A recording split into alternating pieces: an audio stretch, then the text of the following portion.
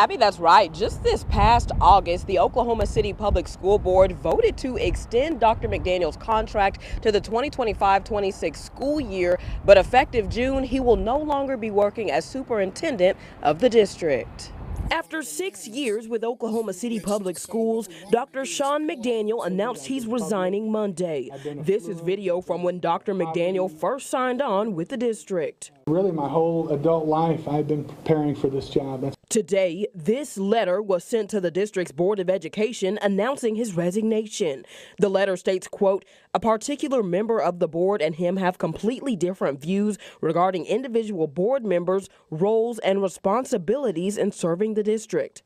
He goes on to say he regrets their differing views of who should administer the district on a daily basis are now irreconcilable. In a statement Monday, the school board chair says they'll be determining next steps to find a new superintendent. They also say Dr. McDaniel has brought long lasting change and an innovative approach in improving the district with a redesign of their Pathway to Greatness program and navigating the challenges the COVID 19 pandemic brought.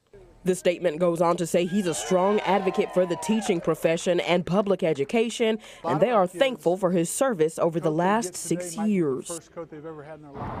And coming up tonight at 5, we're actually hearing more from dis, uh, community leaders about this sudden announcement. Reporting live in Oklahoma City, Megan Mosley, KOCO 5 News.